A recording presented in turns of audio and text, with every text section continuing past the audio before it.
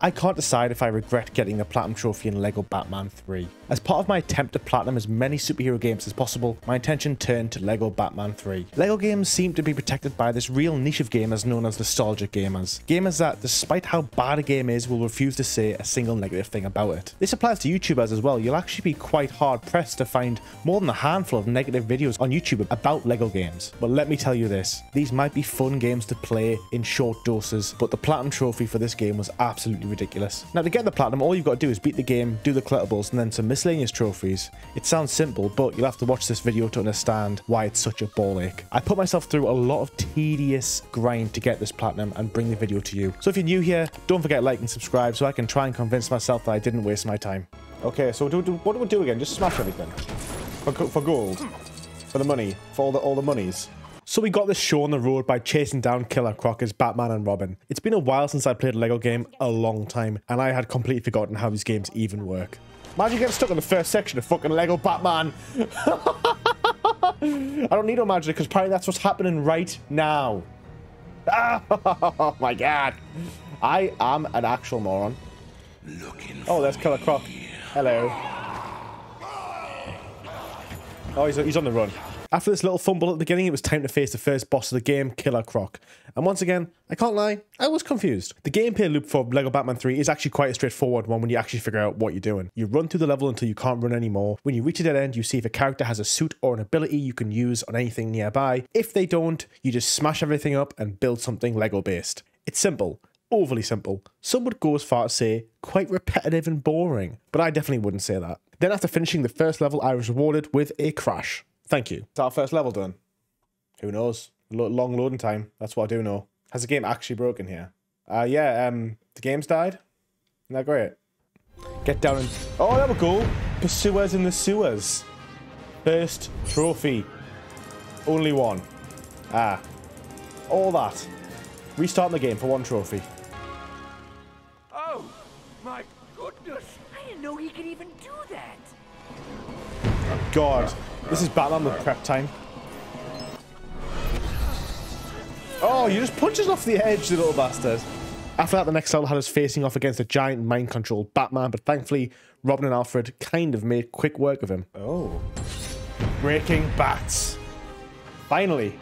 That was a long level. I was then given a taste of the VR missions. Yeah, they're going to overstay their welcome very quickly. I'm going to smash three of them boxes. Wow. That is pretty poop. I'm not gonna lie. I'm not thrilled about having to do this. Not thrilled at all. So across the story, you face off against a variety of Batman Justice League related villains such as Joker, Lex Luthor, Firefly, Cheetah, and Sinestro. But that being said, this is a video about the platinum, not about the story, so you get the idea. After beating the main story, you'll have 16 of the base game trophies. And beating the story took me around 10 hours. It was a little fun jump down memory lane, but also it did make me realize the obvious. These games are for kids. They are simple and repetitive. Too repetitive, in fact. I can imagine a lot of kids actually not even finishing the story, because why would you when you got TikTok, right? The only saving grace for the story was the Adam West Batman 1966 level. It's hilarious, it's refreshing, and it's a lot of fun. So after beating the game, I did have mixed feelings about it, even after just 10 hours, and it was going to get a lot worse with the cleanup because the cleanup makes up around two thirds of the trophy list for the game. No! Keep deleting the O, damn it. How do I get to play as him? I want to play as him though. Huh? But I want to play as Splat Bro. No. This is taking way longer than it should. Let me tell you that. Oh, oh, oh. Use character. Mirror, mirror trophy. There's Plat Bro. Can he fly? Oh, look at that. I'm flying with my blue ring. I'm shooting blue things out, look. Oh, Platbro is fucking absolute giga chad. Woo! Platbro for life! Now the collectibles. The first trophy you should get while clearing up the collectibles is for achieving true hero status for a level. This is for earning the stud goal in any of the given levels. So during the cleanup, you'll have to get 160 mini kits across the 16 levels, as well as collecting 250 gold bricks and completing 160 missions which are scattered across the hub worlds and the planets. LEGO games are known for their collectibles and this is nothing compared to some of the other games like the LEGO Star Wars games, but this doesn't change the fact that this amount of collectibles is just gross. The grind for the levels was pretty grim, I can't lie. It took about 10 hours to beat all of these levels again, and that was without seeing a single trophy. I know trophy hunters need trophies more frequently than that to keep our brains pumped up with dopamine. So my next trophy was for switching on all the red bricks which offer in-game boosts such as more studs and limited fuel for certain suits. And finally, after replaying all the levels, some of them twice because I didn't have the right characters unlocked at the time, I had all the mini kits, which I didn't get a trophy for. This level cleanup is by far the worst part of the Platinum Trophy looking back. The hub worlds and the planets were a little bit more enjoyable, although they were a little bit confusing because some of the side missions are locked behind other side missions in other hub worlds and other planets, which is a little bit confusing and annoying. As long as you're not an idiot like me, you'll be fine. I then need to actually earn some trophies, okay, because it's been going a long time, I've been grinding, and I didn't have a single trophy in like 12 hours. There's a lot of trophies tied to very simple things like playing as certain characters and doing certain things with each character, which is what I did next. And back into Shazam, in theory I should get a trophy. I did. Shazam.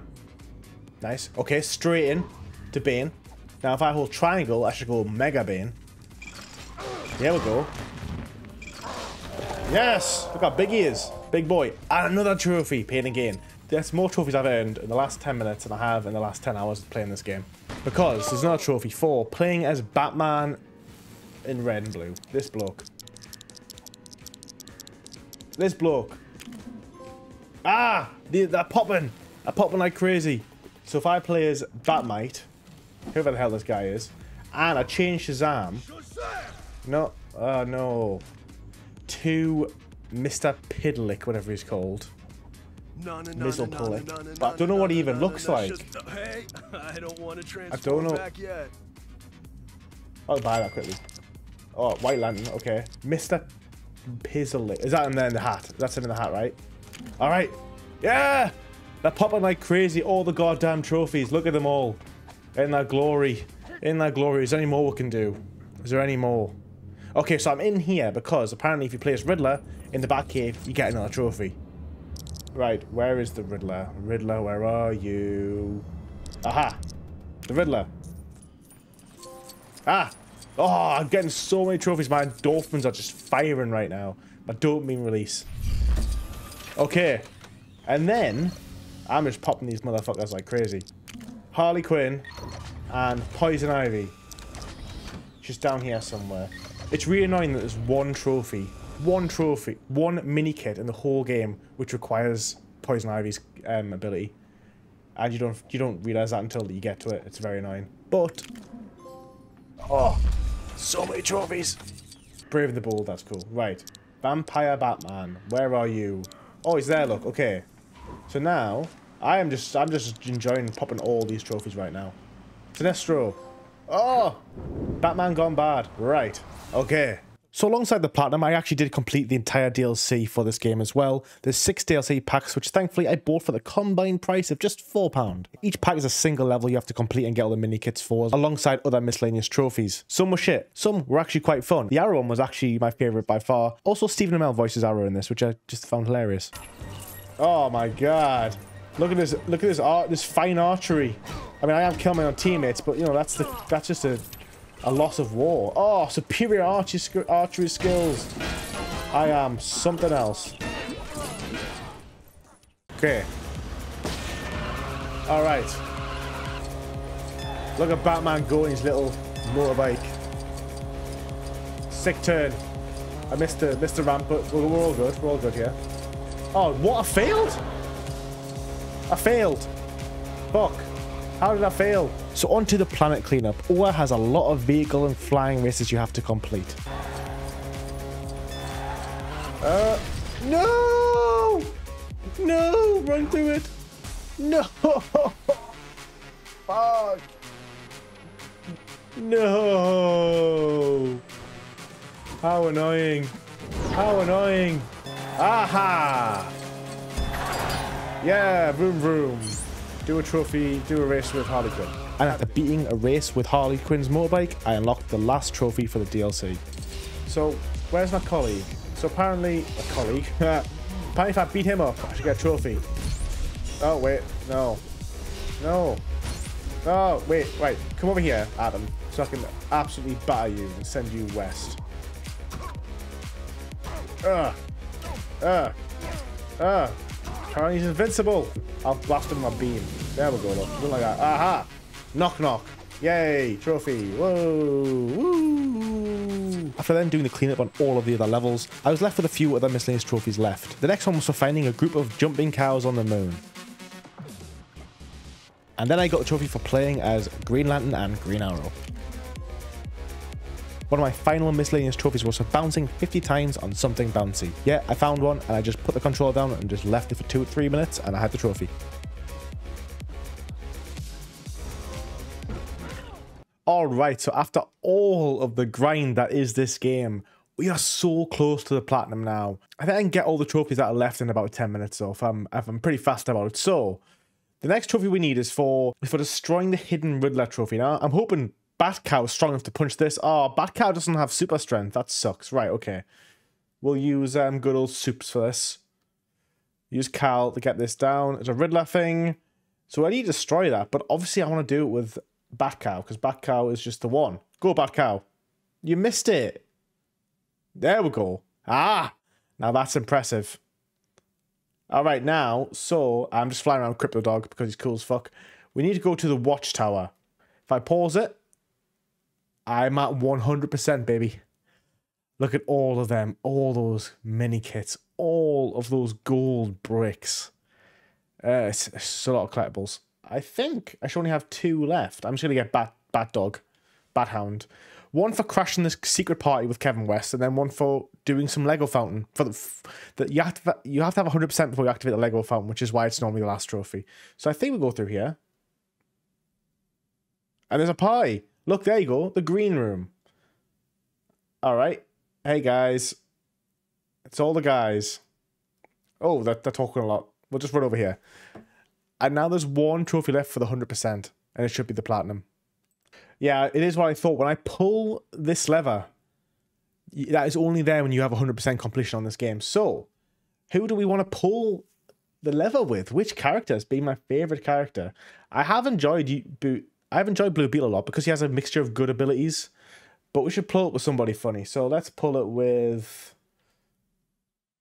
Oh, we'll just we'll do we'll just pull it with Batman 1969 because he is his level is the best level by far in the whole game. Really fun.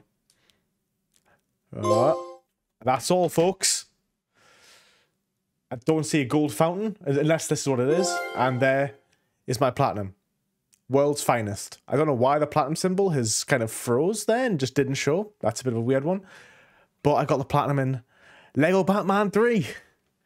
It's been an interesting journey, I have to say. And I have to also say that it's not a good platinum trophy at all. The game is fine. The game is for kids. So, you know, you're going to kind of expect it to be basic, but it is so repetitive. And if you just played the game, didn't get the platinum, you know, you probably wouldn't have that bad of a time because it only take eight, nine hours, but it is the goddamn mini kits replaying the whole 16 levels again is what takes up so much time. And the fact that you can only get certain mini kits which are tied to certain characters, which you have to unlock in the planets, is really annoying. So to unlock Poison Ivy to get all the mini kits, I think you have to go into the Justice League Hall or somewhere to actually find her token. So you can't even do all of the levels collectibles first. You have to do the levels, a bit of the hub worlds, a bit of the planets. So it's all really just convoluted. And it took me probably 20 hours to do the collectibles, I have to say. And the DLC. DLC was pretty fun, pretty short. According to this, it says it took me 54 hours to beat Lego Batman. Take away the fact that I leave this game on idle at least three hours every day. I would say take off 20 hours of that. I would say 30 to 35 hours is probably more of a closer time as to what I spent on it to get the plat. So my time with LEGO Batman 3 was over. Did I enjoy it? Meh. I hear a lot of people saying really positive things about this game series, and I'm going to be honest. If you think these are good games, you need to play some better games. Thanks very much for watching. Don't forget to like and subscribe. If you want to watch a video of me playing some better games, why not check out my Wolverine or Green Lantern video. Peace.